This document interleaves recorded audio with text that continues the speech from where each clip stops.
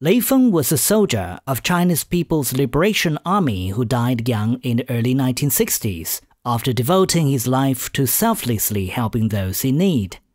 He is widely regarded as a role model for altruism in China. He was a soldier, and during that time, when uh, most of the soldiers or other people needed help, he was always helping them. More than five decades later, the legacy he left behind still inspires the Chinese people to do volunteer work. Deeply touched by Lei Feng's spirit of selflessness, in the year of 2012, some international students at Central China Normal University, CCNU in Wuhan, formed the Foreign Lei Feng Volunteers Association. In 2012, um, most of the international students were volunteering in different part of Wuhan and we decided that we wanted to come together as a group. Um, 2012 April, we came together, formed the Young Lei Feng Volunteers Association. He had a good heart of helping others, but they came to know about him when he already died at the age of 22. But up to today, we as volunteers, we keep his spirit alive forever most of people who are joining these volunteering activities, especially here in our school, I can say they are from Africa, most of them. We at the college really, you know, would like to express, you know, our gratitude to you all for your, I mean, the uh, contribution. I mean, you know, especially, I mean, just in line of the uh, Lei Feng spirit. Mm -hmm. The members of Foreign Fund Volunteers Association have participated in many activities and regularly appear help out at public places, such as train stations, blood donation centers, and environmental protection events.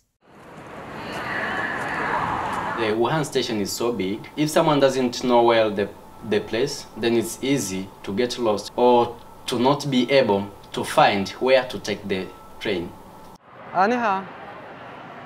啊，请问你去哪个车？我帮你查一下。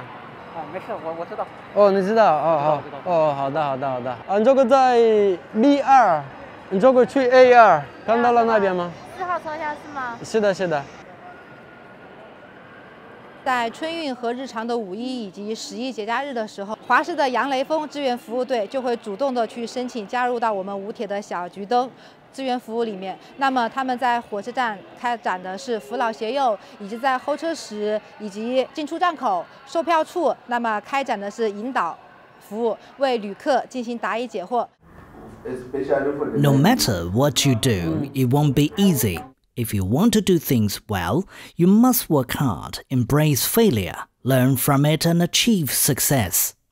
This is a well-known sentence in Lei Feng's diary which encourages the Foreign Lei Feng Volunteers Association to confront the difficulties they come across during volunteer work. The most very difficult issue is about to communicate with the, the people that we are saving. We need to use Chinese. For example, we are saving at the train station. We have to use Chinese language to communicate with them. So in recruiting members, most of times we consider people who can speak different to communicate in Chinese language.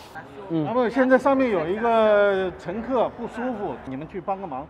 哎，赶紧跟我从那个轮椅上，人家赶紧找 F 急诊。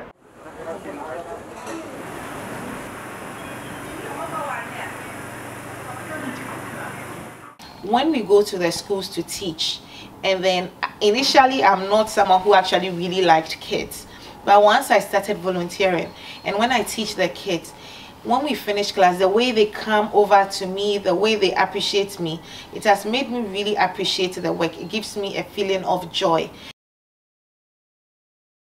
Good morning. One, two, three. Okay. Okay, we continue. Mm -hmm Old are you? 你会怎么回答呢? How old are you? Okay, what is your name? Stand up, please. What's your name again? Okay, good try. Uh, I am 11 years old. Okay, thank you. Good try.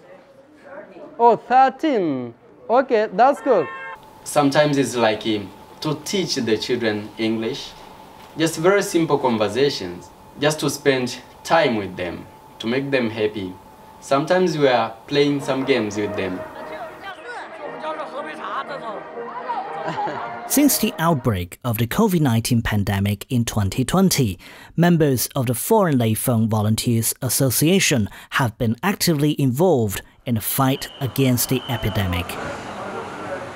We help students in many other in many ways, giving them their daily needs like the food, masks, and sanitizers. For this school set up a platform where students can order online. Then every Thursday and Saturday, we were to distribute those things. By that time, when talking to my parents, I was just assuring them, please don't worry about me.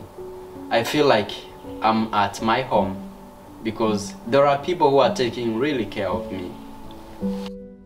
These foreign Lei Fengs have begun to learn the spirit of Lei Feng in their own way and want to introduce the spirit to their own countries. I would also like to do something of this kind, like to establish volunteering team back home so as to make this Lei Feng spirit alive forever.